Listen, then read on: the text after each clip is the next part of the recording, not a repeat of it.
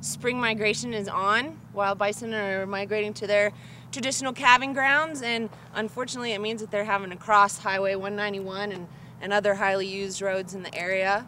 So, Buffalo Field Campaign is out day and night, literally uh, placing signs like this up on the road to warn motorists of Buffalo on or near the highway. And as you can see, we have a group of mostly pregnant females that's uh, kind of taking their time getting where they're going. Um, daytime isn't as bad.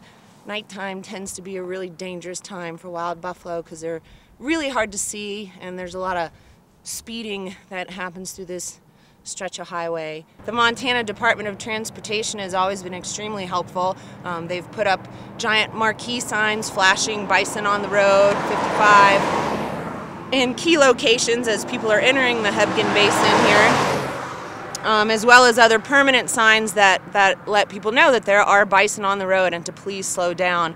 And our signs actually offer an extra, more unique um, they serve a more unique role because they're only up when there are literally buffalo on or near the road. So if you are traveling through the Hebgen Basin and you see any of these hot pink signs, there are bison on the road. Um, generally, you should be considering that they're going to be around any time of year, but uh, right now we got, like I said, spring migration is on and hundreds of bison are moving through this corridor in the Hebgen Basin trying to get to a safe place to have their babies. And, you know, we've been a presence out here for many, many years trying to warn motorists of bison on the highway, and as a result of that, um, we're kind of looked to as the Buffalo crossing guards. We have strong support from the sheriff's office and from the local community that really looks looks to our efforts um, in keeping the highways safe for travelers and Buffalo.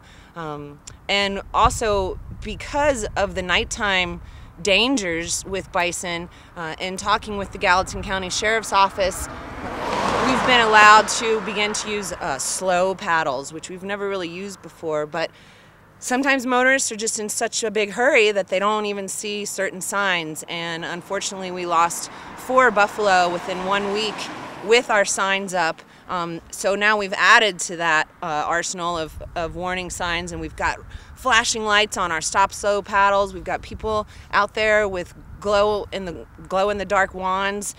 Um, our efforts out here on the road are also for the people that are traveling through here, whether locals or visitors to Yellowstone National Park or Gallatin National Forest.